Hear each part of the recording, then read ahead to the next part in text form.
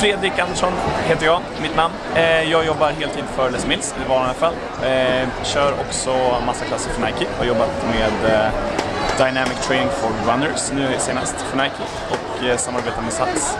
Och årets träningstrend 2011 blir helt klart olika typer av funktionell träning. Mycket utan redskap utan bara med sin egen kropp. Det tror jag på.